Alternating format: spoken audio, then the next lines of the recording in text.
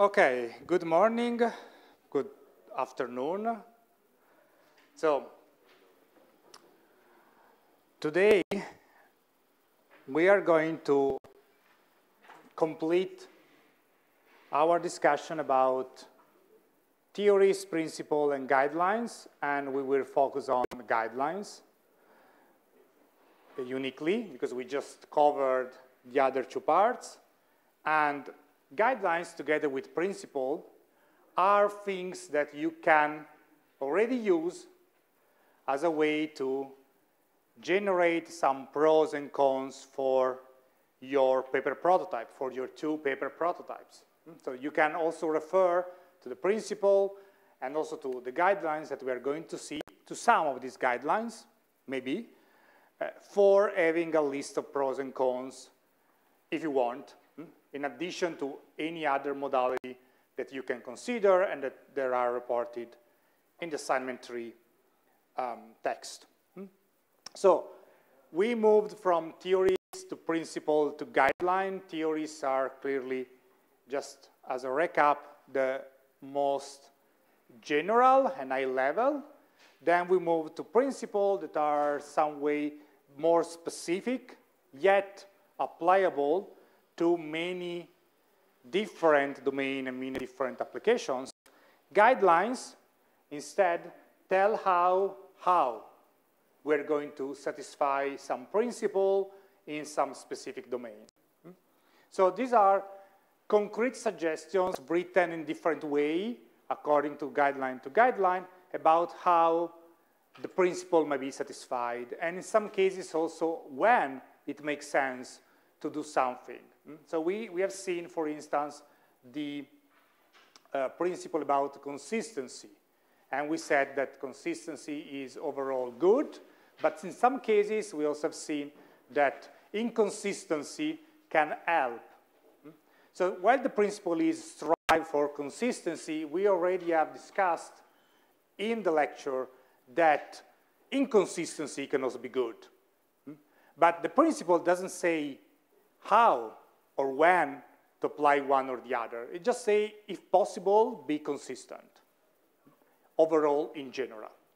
So the guidelines try to instead specify better these details. They are often rule-based, not always. We will see a few examples in practice. They are based on best practice. They're not just theories. They are validated guidelines. And, and so being uh, validated, they are based on the experience of actual people working in that specific domain or more than one people. And in some cases, they are treated or they are standards. Hmm? And so they maybe are also linked and used in laws. Hmm? Um, however, guidelines are specific, very, very specific for a domain and in some cases, you can have guidelines that, even if you are in the right domain, they don't apply for you. Hmm? Because in your project, in your idea, in your situation, that guidance simply doesn't apply.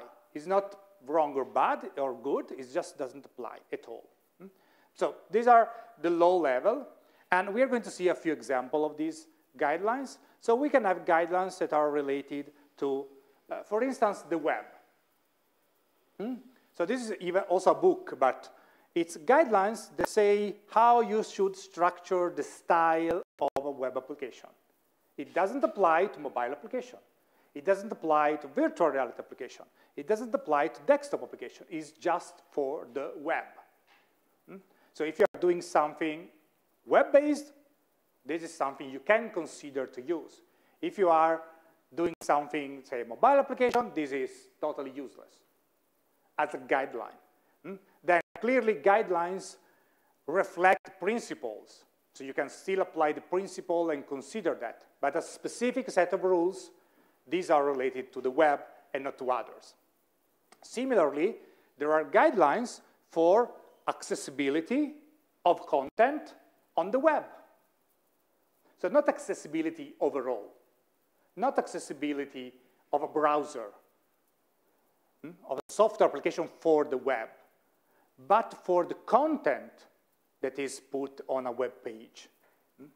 And these are also standard guidelines. For instance, European law about accessibility, including the Italian law about accessibility, refer explicitly to these. So if you read, because you are in a very boring day, if you read the Italian law about accessibility, that is called the Legge Stanca, is actually the current version, the new version, refer explicitly to these WCAG guidelines. You just say, follow that guidelines. And these are international guidelines. So we are going to, to see how these guidelines are written, just to make a more concrete example.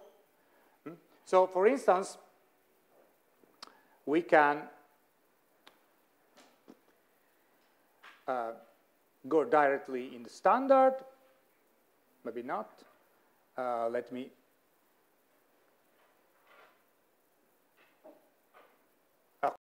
Hmm. So here there is this uh, modality that allow you to uh, explore the guidelines and also have more details without reading the actual standard. Hmm. So just to make an example, since the web is something you are familiar with. So one guideline as a title is typically structured in, can be structured in different sections, but typically guidelines have a title and hmm, descriptions. Hmm? So in this case, the guidelines say text alternative. And the text is provide text alternative for any non-text content so that it can be changed into other form people needs, such as large print, braille, speech, simple, or simple language. Hmm? So if you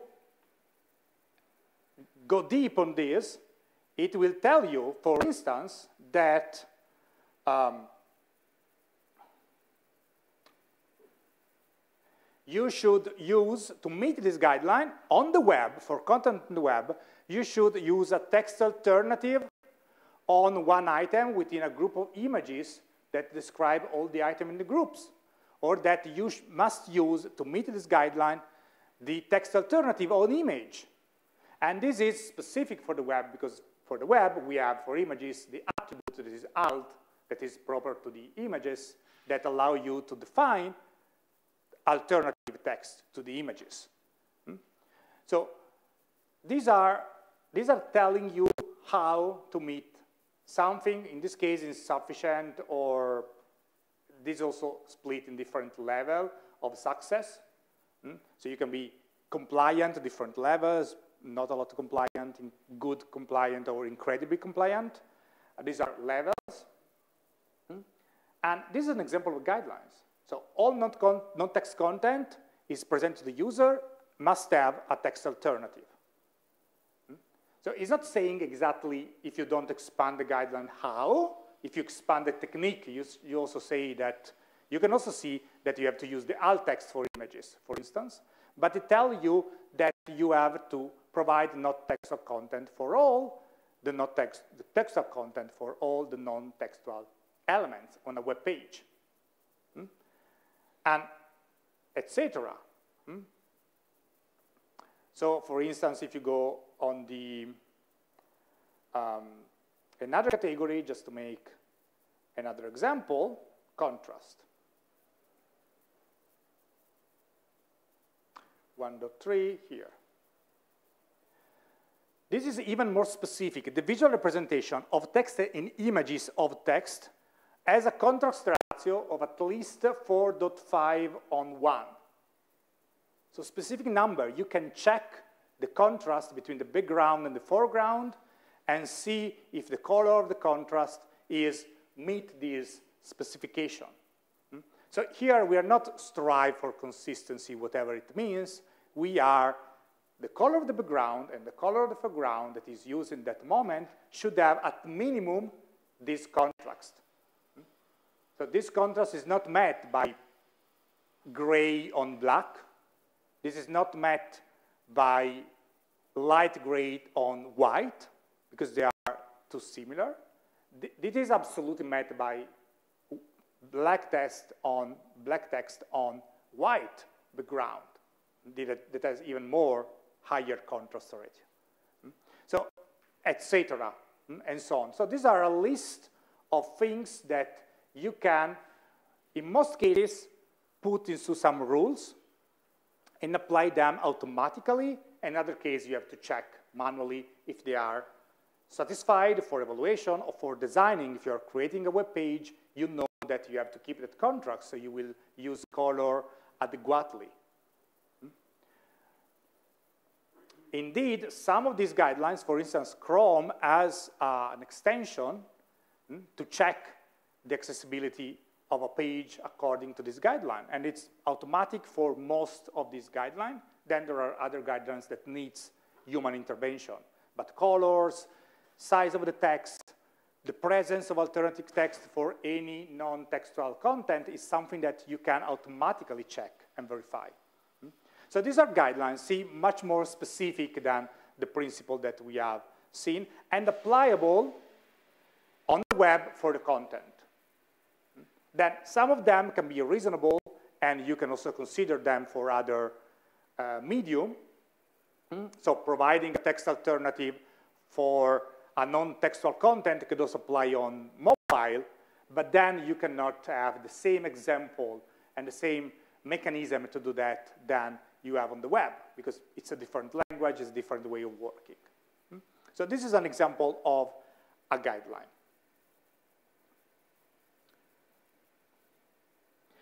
Then we, have, we can have guidelines that are more specific, not just on the web, not just about accessibility on the web, but it could be national, for instance. So the US government has a series of guidelines for mobile user experience. So if you do a mobile application for the US government, you should follow these guidelines. And similarly, the UK government has a series of guidelines actually an entire design system, so also with patterns, style of the button, layout of the page, etc., for all the uk.gov.uk website. So if you are part of the government of UK and you want to create a website, here there are guidelines and elements to be used for that. Hmm? And similarly, also the Italian government has such guidelines for the public administration website? With example for municipalities, region, etc., etc. Hmm? So all of these are guidelines that tell the designer, the developer, how to do things for specific sectors. Again, not the web in general, not accessibility, on the web in general, but specific domain on the web, for instance, in this case, or in the case of UK government, or on mobile for the US government. So these are guidelines that, again, apply very well if you are going to do something for this specific domain. You can read that and get inspiration or analyze if they are reasonable or not, but still they apply specifically for something. So these are instead location-based, country-based, instead of being general like the accessibility guidelines. And if you develop something for the major three operating systems, either desktop or mobile, you have guidelines. Guidelines by Apple for iOS and macOS, etc., that tell you which are the guidelines, the best practice, if you want to develop an application for the Apple ecosystem, you have to follow this to keep consistency among applications, to keep uh, the same knowledge, to meet the, the, the, mental model of the user that is already used to that specific environment. So all the application follows some rules. Mm, so that is familiarity in the person that use that, um, that software, that family of application. So Apple has the human interface guidelines that apply to Apple products. And similarly, Microsoft has guidelines, for instance, the Fluent the system, that tell how Microsoft application and now Microsoft tools should work, should appear. So if you are not interested in doing anything for Microsoft systems, hmm, not working at Microsoft, but just for Microsoft system, you can ignore these and use the Apple guidelines. if you are instead interested on, on, on, on the Apple ecosystem. And similarly, Google has their own guideline for designing system, for design application, for design user interface for their own system, either Android or Chrome OS. Hmm?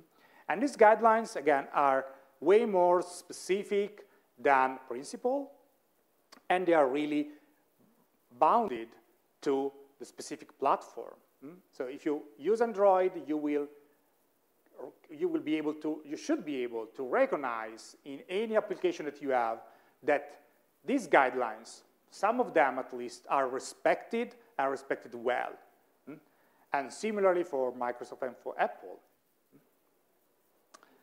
And if you create something, this is uh, for this operating system, for instance, is something, uh, even the guidelines, something that help you to make the size decision and help you to have your application more used because again, it's more similar to all the other application. People doesn't have to learn how to do something or where is a menu or where is the navigation if it's on top on the bottom because it's used to in that operating system, in that ecosystem.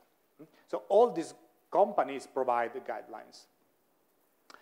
And we can also have guidelines not specific for web technology in general, so traditional content, uh, traditional technology like the web, or for operating systems, but we can, can, for instance, can have guidelines for human-AI interaction. Hmm? So if you are in the third lot of the lab, this is something that you can use right now. And these are actually guidelines created by Microsoft research. Microsoft is split into, let's say, companies. One is Microsoft Corporate that does the product. Uh, too big, let's say. Then there are other division, but, and the other one is Microsoft Research that doesn't have anything to do with products, it just do research. Hmm? So they are researcher. They work in collaboration with universities. So they created these guidelines about human AI interaction, and it's not important here if it's a Microsoft product, if an Apple product, it is about Spotify or Netflix. These are not technology bound, but these are related to the specific um, way of interacting between humans and AI in general. Hmm? And Microsoft also did these guidelines very, very well, actually, and they were not only, they are not only did the guidelines, but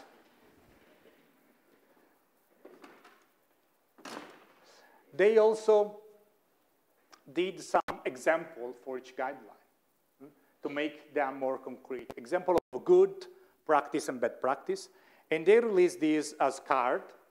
Hmm, if you, if you met some, if you go in some places where there is a stand uh, or a booth of Microsoft, you can also find these, I, I have those on, on card, like actual cards, uh, where on the front, they tell you which are the guidelines, and the back, the example, the positive example, and they, on the website, they have more example, positive or not. And they build a toolkit out of this, so even much more than just a guideline. But you see, here we can see another example of the guidelines. So make clear how well the system can do what it can do. And this is the title.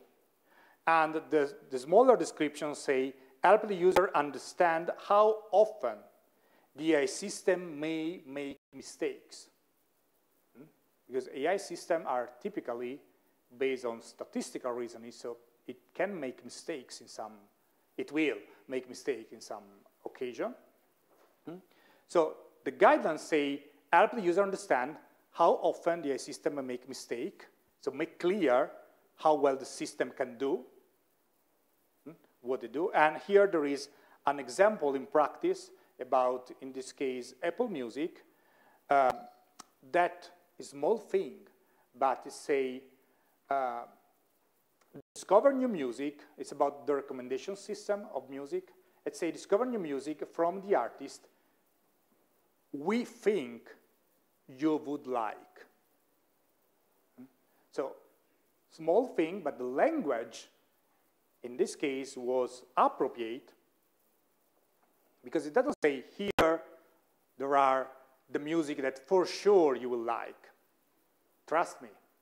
But say, here's some music that we think we could like. So it set the right expectation on the people that is reading that. It's not an absolute truth, it's just we think you could like this. If you don't, nothing happened. Just ignore the list. And another guidelines, so this is something, so they split the guidelines in actually four moments. What you should consider initially, what you should consider during the interaction with any AI system, uh, what you should do when the AI system is wrong, and what instead you should consider over time, over the lifetime of any AI system. And so this was initially, to make clear initially what, what are the expectations hmm, of what the system can do. And another example here is when things went wrong. Hmm. So when you do something wrong, support efficient correction. Hmm. Make it easy to edit, refine, or recover when the AI system is wrong. And this is incredibly familiar and similar to the principles about the error recovery, being always able to recover from errors. That was one principle that we have seen last week. So this is just an implementation, let's say a specification in a particular case uh, about uh, that principle, let's say support efficient correction. So give the possibility to correct in an efficient way. And here there is an example from, from Bing search, from Bing search, but the same happens with Google search, in which you, you type, type something and the, the search engine say including results for another term that is similar to the one you have uh, used, but it's not identical. And then it also gives you a possibility to say, do you want to see only results for that modified word or not? And you can ignore it. You can follow with your own research because maybe you you type something correctly, or you can say, no, I just want to see something because it was maybe a typo uh, in the things that they wrote. So these are the Microsoft guidelines for human AI interaction, and they also have uh, a website hmm, in which they list uh, the guidelines that are exactly the one that um, I show you, but also, like the guidelines for accessibility, they go a little bit uh, farther and explain which is the problem that the guideline met, explain which is the solution, explain when to use that, and explain how to do that as concrete example. Hmm? So just not be more efficient in providing correction, but also explaining when this can happen, when this makes sense to apply this, and how you can amend these and apply successfully this guideline. Hmm? And which are also the common problem, the common issue that you may have. So it's, it's very, very specific, it's very, very, it's incredibly precise what you can do with these, um, with these guidelines. So that, again, it's something for a designer, for a developer, ready to be used. You can pick a system, you can pick the guidelines and say, okay, I have this. This apply to me? Yes, no. If this apply, I met that guideline or I don't met the guideline. And if I met the guideline, good. If I don't met the guideline, how can I change the user interface to meet the guideline? And we need specifically guideline for human AI interaction because it's a different kind of interaction with non-AI system. Hmm? Because AI system have characteristic, a specific characteristic is the unpredictable results. Given an output, we can have different, given an input, we can have a different set of output according to the user, according to the time, according to what happens before. That this is something that doesn't happen with traditional computer system. If you click a button, you get a response, always the same hmm? either an error or not.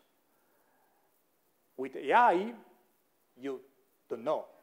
You cannot know now what is the output of that. So this unpredictability needs specific guideline to cover that. And again, some of them, like support efficient correction, is very, very close to principle. But in this case, it's declined and specified well for especially on the website, for the AI interaction. And similarly, just to make another example, just not to monopolize everything about AI, uh, there also exist guidelines for augmented reality, for virtual reality.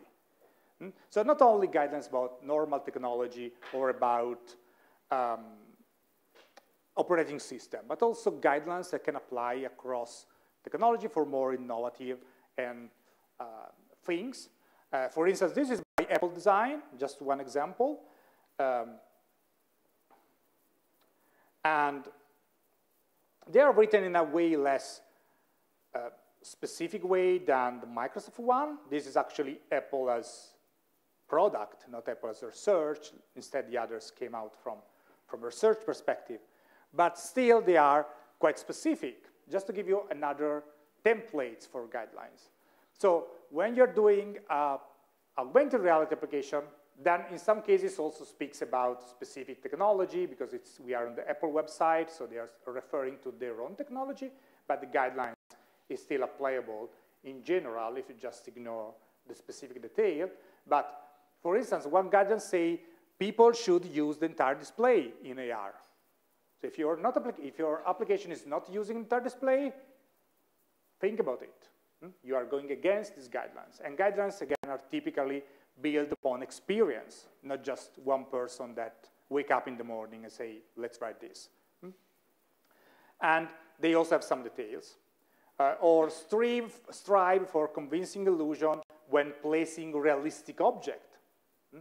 And here there is a detail, it also speaks about uh, make sure your app updates scene 60 times per second. So it also gives very, very precise similar to what happens for the accessibility guideline on what to do. How many times my application should update the, the scene? At least 60 times per second. Very, very specific also information here. And this is gone, clearly. Hmm? Minimize text. Hmm? So if you're doing augmented reality, try not to use too much text, etc., etc., etc. With those examples in the Apple ecosystem, clearly, and so on.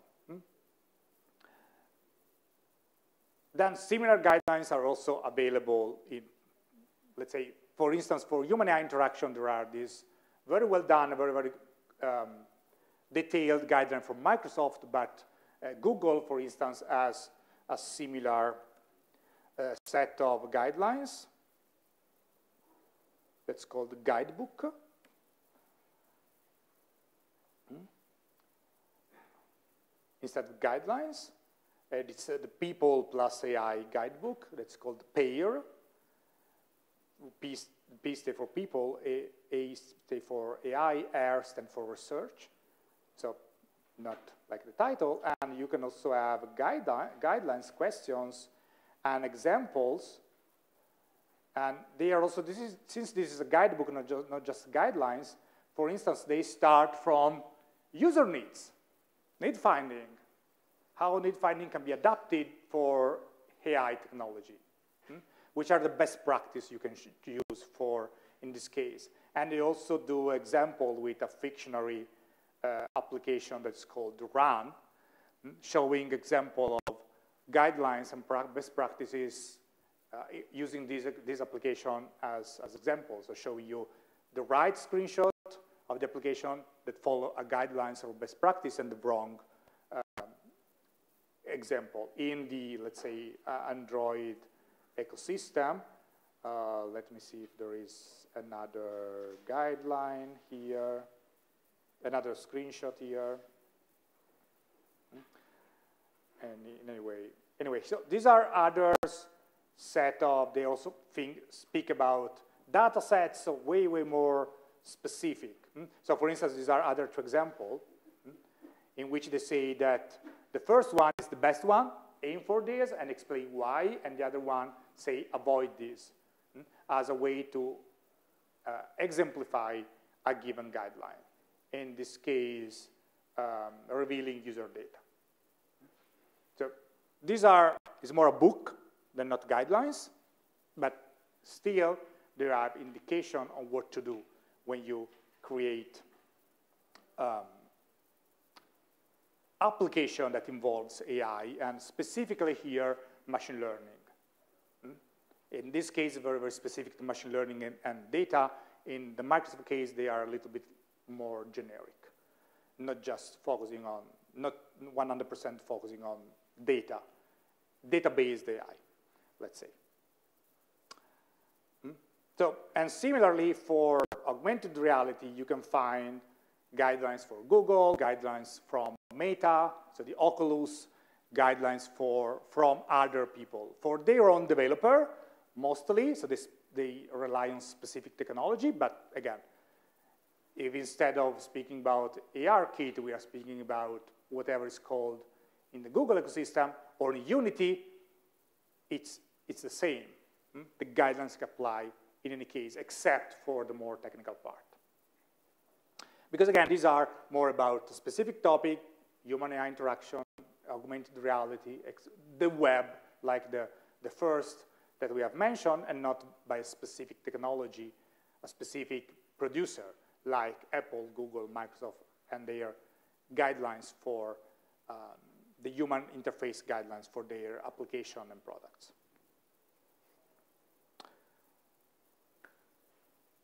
So this close the guidelines part. Um, we are not going to start now speaking about visual design. We, we are going to speak about visual design tomorrow. Uh, what we're going to do now is an exercise, or you are going to do an exercise, mostly. Uh, let's try to apply 10 minutes, 15 minutes, something like this, some of these guidelines. Hmm? And if you want some principle, since this could be one thing that you can do also for your project, it can make sense. And in particular, since everybody of you has a smartphone here, right? Do you have a smartphone here? Yes? Thank you for showing me the smartphone. Um, so we are trying to, so you are trying to apply these guidelines here, not to the smartphone in general, but to the vocal assistant that is available on your smartphone. So if you have an Android smartphone, you will probably have a Google. If you have an iPhone, you will probably have Siri and something like that. Hmm? So try to use that app or feature and try to check against these guidelines if a Google or Siri or whatever you can have on yours, or Samsung Bixby, if it's still a thing. Uh, you can use, if they met these guidelines or not, and if some of these guidelines apply or not. So the first thing is to open this uh, conversational agent. If you don't have experience with them, maybe ask a few questions. What's the waiter? Maybe correct question, wrong questions, etc. Then pick the guidelines here there is a link. That is a, really bad link, actually. Um, so this link is, is you are going to do it by groups alone, and then you will you will speak. Um, so this is a better link. Um, that is a HAX toolkit uh, Microsoft.com and US HAX toolkit slash AI guidelines. And if you know how this application works, you don't have to, to call them clearly. But if you don't, and you, you want to experiment now, you can. And being in a room with a lot of people that will try will also allow you to see what happens when other people around will use, will speak with the same system, and you can see how well your smartphone will react to you or to them, because they are close to you. Hmm? So let's say 15 minutes, hmm? pick the guidelines, try to apply some of them, one at a time, and then we can uh, discuss a little bit. And then we close the, the lecture for today.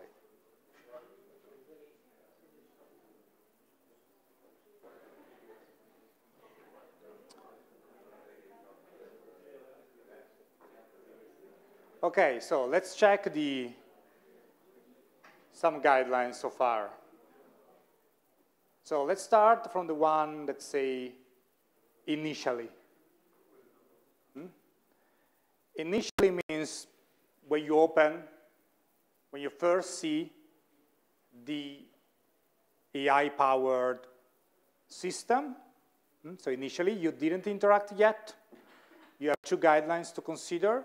Again, this guideline can be used as you did for evaluating an existing system, but also if you design a system, you can say, okay, is my system making clear what I can do when people open it or not? And if the answer is no, at design time or development time, you can still amend it. So make clear what the system can do. So initially, does, how many of you, so which, let's say, how many used used Google Assistant for this exercise? Two people? Three? Four? Okay. And how many of you use Siri? Okay. So Google Assistant. Uh, Any other vocal assistant used? You used Alexa? You tried Bixby. Okay, so Google Assistant. When you first interact with Google Assistant, when you open Google Assistant, you start Google Assistant, is making clear what Google Assistant can do to you. You can, you know how to use it?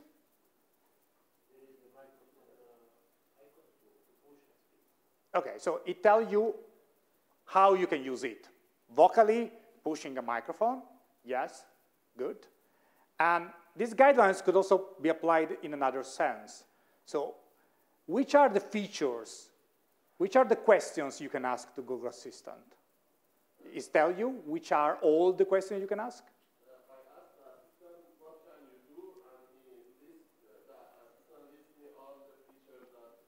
Yes, it has a sort of help that can use, a sort of help. So for how the system do that is checked. Is, first of all, this apply to Google Assistant? Yes, as a guideline. Uh, since it apply, it, it satisfy, let's say, for the how, clearly, because there is an icon, you can understand how. And for what does it does, mm, sort of, you have to ask. You have to, to, know that you can ask, and so not, not a lot. But that is a problem of all the virtual assistant, not just Google Assistant. So that is the problem of the conversational assistant, not, not knowing, uh, they don't have affordances that we have in the visual graphic applications, so they don't know, we don't know how, what we can ask them. Hmm? We know by experience, we need to remember. Uh, Siri, uh, same things or different? Same. Make clear how well the system can do what it can do. Hmm? So help the user understand how often Google Assistant slash Siri slash Alexa uh, may make mistakes initially without using it. Is it clear how precise it will be? No.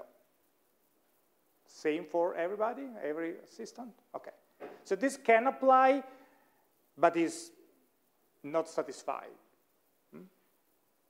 And so if you want to redesign or design another vocal assistant, you can, for instance, imagine hmm, to have some clue hmm, about what works and what not. In conversational agent is particularly complicated because especially the vocal one, because they're expected to speak with them, so you can also use it without looking at the screen most of the time. So it's difficult to have this kind of, uh, again, affordances for that. So during interaction, so now you start using it. Uh, the guidelines say time services based on context. So time when to act or to interrupt based on the user current task and environment. Does this apply to Google Assistant slash Siri slash Alexa slash Bixby or not?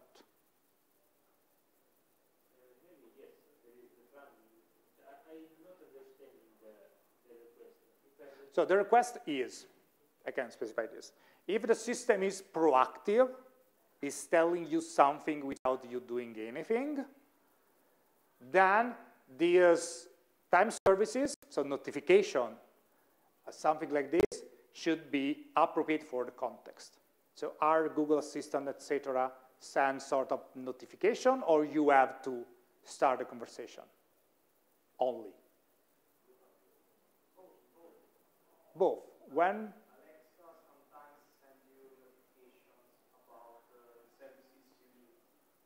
Okay, so Google Assistant, let's say no, you, this doesn't apply for Google Assistant, probably doesn't apply with Siri. With Alexa can apply. So uh, how, how well it work? So since it apply, is it satisfied, this guideline with Alexa or not?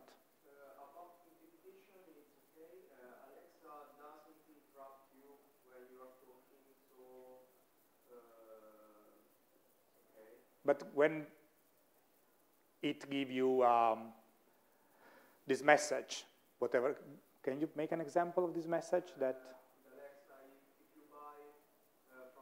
okay, you see, you receive a vocal notification that your pack is arrived or it's in delivery. Okay, um, is those are those messages sent in the right moment to you when you are interested in listening them?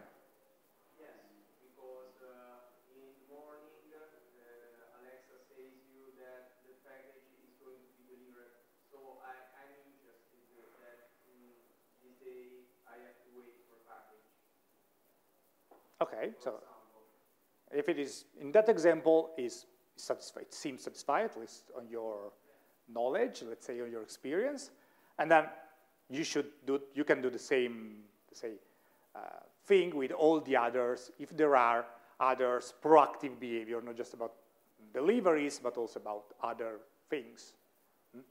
uh, if, they are, if there exist for, for Alexa, etc. Okay, one more. Um,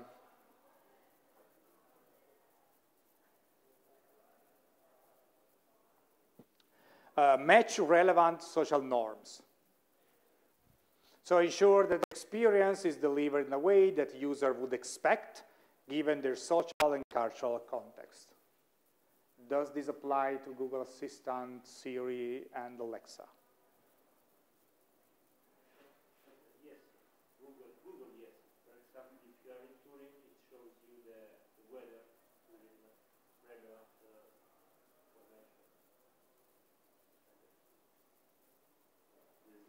This is not this one. This is relevant social norms, not contextual norms. So the waiter is not a social norm, right?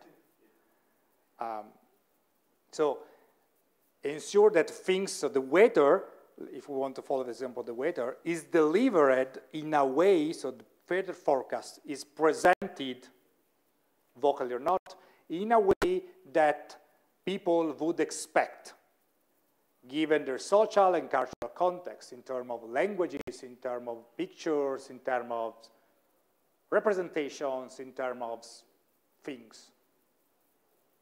It's not about how um, appropriate is the weather forecasting or precise is the weather forecasting, just to use this as an example, but in the way it is presented to you.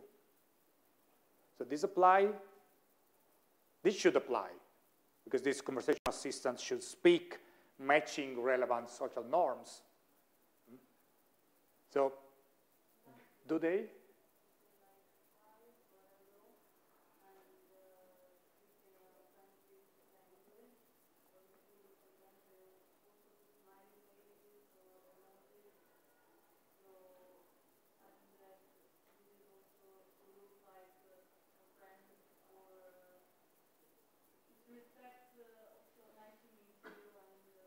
It's polite, let's say, it's polite.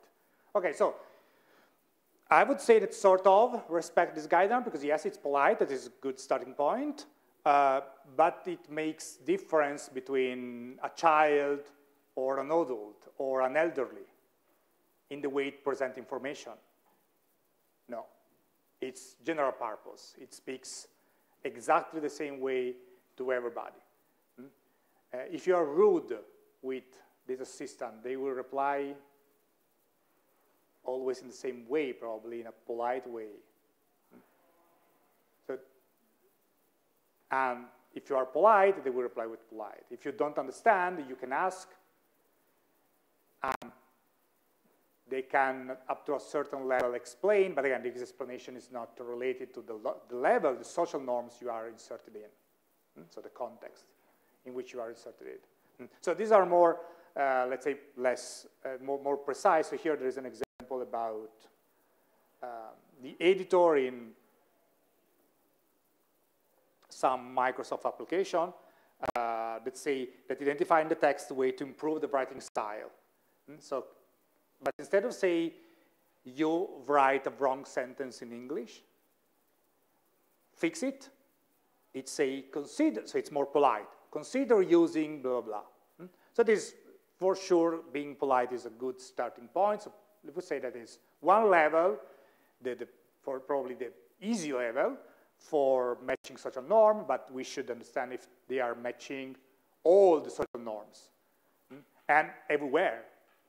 So we don't know probably, but we don't know. I, I don't know. But if you use Google Assistant here in Italy or in South Africa or in Pakistan, it will work the same way and will respect the same social norms or they will respect the Western social norms.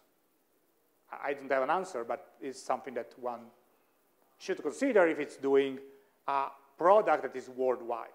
It's not just um, focused on one single country. Hmm? Okay, but sort of these are how you apply guidelines set for evaluation for designing things. So before closing this lecture, we are closing a little bit earlier today. Uh, I want to dedicate last 15 minutes or 20 minutes if you have any questions about the assignment.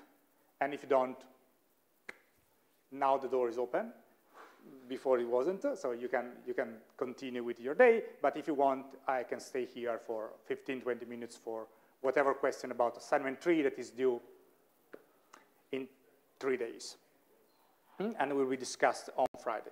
But before that, let me just tell you one thing that is not, not really related to the course. That is this. So um, we are, so how to start? Um, together with the University of Turin, we are organizing this conference that is called CHI Italy, even if in Italy you would say Key Italy, but it's sort of English, so CHI Italy, uh, 2023, 2023, that is the biennial conference on human-computer interaction, the Italian biennial conference on human-computer interaction, national conference on human-computer interaction, that in September next year will be in Turin, and that's why uh, I am organizing this together with um, a professor of HCI at the University of Turin on the computer science department. And this will be end of September. That should be the end of the 2022 September, should be the end of the exam session next year. And we are organizing it partially here at Politecnico and partially at the University of Turin. We are still, well, it's not tomorrow, so we are working on the details. But the, the message that I want to, to start to give you and the invitation that I want to give you or, or, or right now, basically, uh, are two, actually. Uh, first of all, we would like to do something, whatever is something, um, involving uh, students from the HCI courses of both universities. So meaning you here and whatever human interaction course they do at university, at the University of Turin.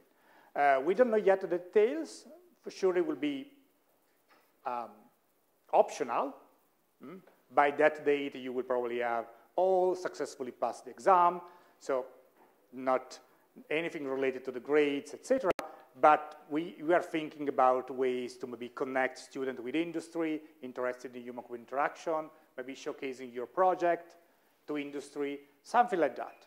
Hmm? So we are thinking about a way to involve the one of you that A will be still here in Italy in September, and B wants to, to do this.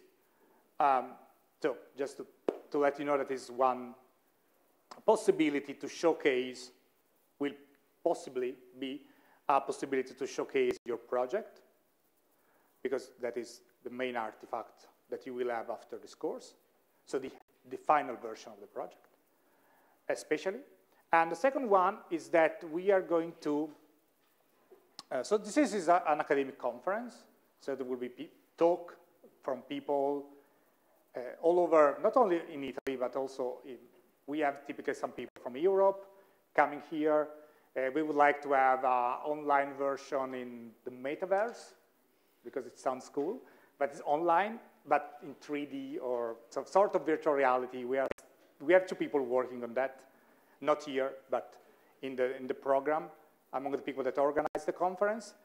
And so this will be a conference, we talk uh, with a researcher, with some people from industry, mainly in Italy, from Italy, but not only.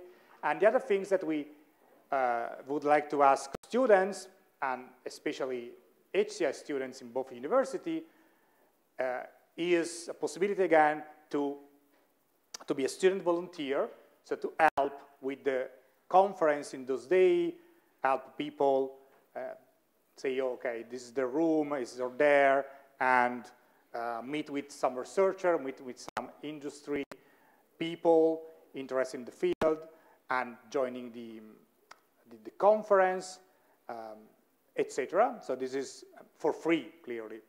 It's volunteering, that means for you, you, you work for free because it's volunteer, but also you have access to the conference, to the coffee breaks, to the lunches, to the dinners for free. Mm? Um, so it's, it's part of the service that a person does to, to a conference. Um, so this is another things that we would like to, to, involve. We would like, first of all, involving students doing HCI. Uh, and then we will also open it to all students. The student volunteer part will also open it to all students in Italy. So we can also have students from other university helping with that optionally, voluntarily. It's not mandatory, it's not bind with the course, it's not related to anything about the course. It's just the same topic.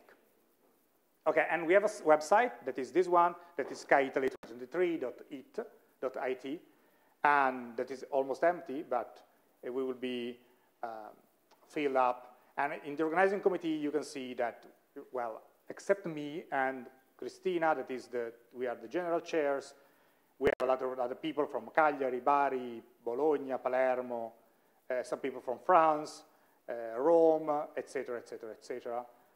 And also we have two people from the Metaverse and Hybrid Conference that are from Udine, um, and so on. So here there are the people that are currently organizing the conference. Um, here, also managing the website, the social media, and etc., etc., etc.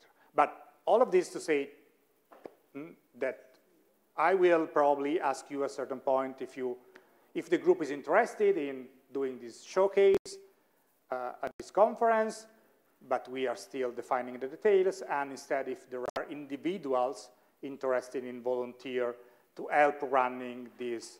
This, is, this conference is not the first year we're doing that. This is a biannual conference that exists from several years, and two years ago it was in Bolzano, and this year is going to be here, it was in Rome, it was all over Italy. So it's a national conference, but it will be in English. Everything will be in English, all the talk will be in English. People will speak Italian if they are all Italians, but the talk, the official program will be in English. And we are organizing these uh, in these days. So uh, Cristina already told their students, her students about these two things uh, last week. And so it was time for me also to, to do the same. And that's it. So if you have any questions, again, I will still be here for these 50 minutes. Otherwise, we will see, we will meet tomorrow.